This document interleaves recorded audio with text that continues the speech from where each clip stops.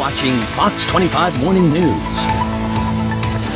We are back here on the Fox 25 Morning News, and after the September 11th attacks, we found many flaws in how we report and respond to large-scale emergencies. Cell phone systems failed. Intelligence reports had either not been filed or ignored in the days leading up to the attack. Here to talk about some of the ways these problems are being fixed is MIT professor John Donovan, commissioned, by the way, by President Bush to come up with a system to link all the agencies and prevent miscommunication against the event or in the event of a catastrophe. And John, good morning. We appreciate you coming in this morning. Good morning.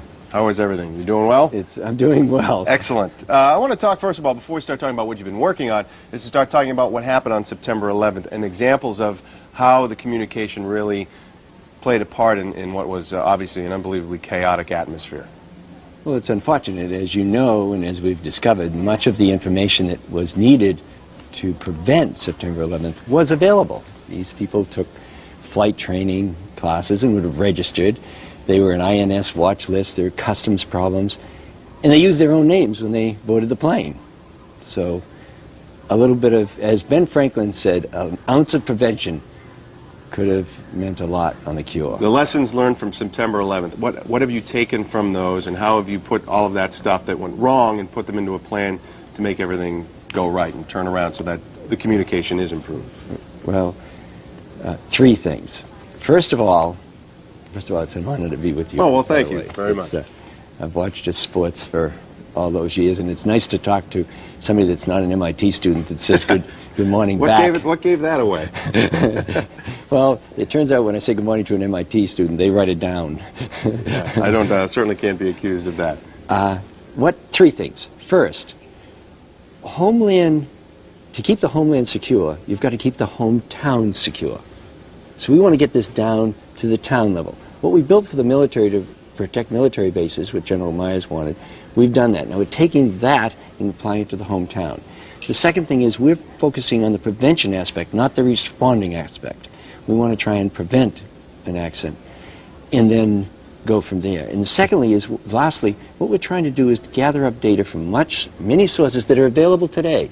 We're not going to infringe on people's liberties. What we're trying to do is protect liberties, not hurt liberties. And that's the balance. To protect them, you can't take them away. So we're going to be getting police reports, fire reports, arson reports, and look for patents. And if the patent is unusual, we will alert the appropriate You take all this information in, you put it in one central system so the CIA, the FBI, state police, other agencies can all access this information from one spot? Okay, that's dangerous. I'm not going to put it in one central system. No, no, mm-hmm. no, no, because that would be infringing on our privacy. I'm going to leave it out in the local Jacksonville police station in that. But we're going to have a connector here so that anything they publish, you can go in and do the analysis. So in between, we have intelligence that gets a little piece of data here, gets a little piece of data there. So, for example, a sniper attack that's mm-hmm. on everybody's news. There are 14 queries of the sniper by police officers around the country that data was in their systems, but no, if you wish, central analysis mm-hmm. Of ke- checking that and saying, whoops, there's a problem.